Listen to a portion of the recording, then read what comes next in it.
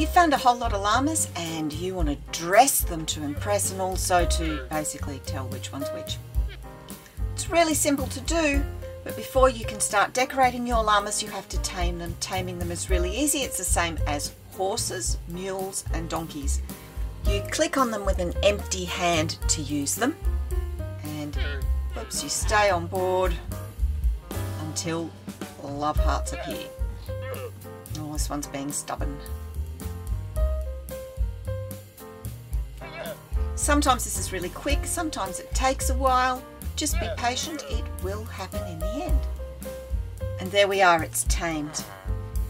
Now if I open the inventory, you can see we've got a little picture here of a llama and we have a space we can put a chest in there or we can decorate it. So to decorate it, take a piece of carpet, any colour, and pop it on.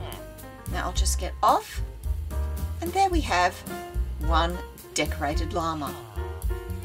If you want to change the colour that you've got on your llama, it's very simple. Take the carpet out of the slot and put another one in its place. And you can of course redecorate. Trader llamas as well. Just remember you're going to have to tame these guys first too because they used to belong to the trader, not to you. But once they're tame, you can dress them up however you like.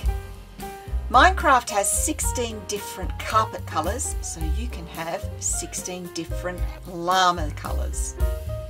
Have fun forming your own llama fashion parade.